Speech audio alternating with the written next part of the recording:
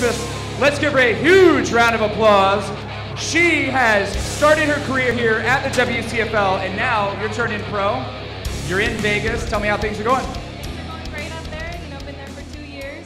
So, you know, just making a career out of it and doing the best I can do.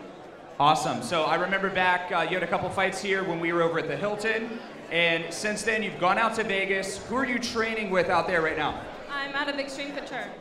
Extreme Couture. That is awesome. So you're turning pro. What organization are you going to be fighting for in January?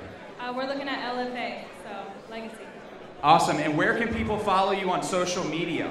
Um, my name is Chyanne Vlismas on social media, The Warrior Princess. So you can find me on there. All right, guys, make sure you follow her. Keep an eye on her. She's going to be doing some huge things in her career. And she's out in Vegas, and we appreciate you coming back and showing your support for WCFL.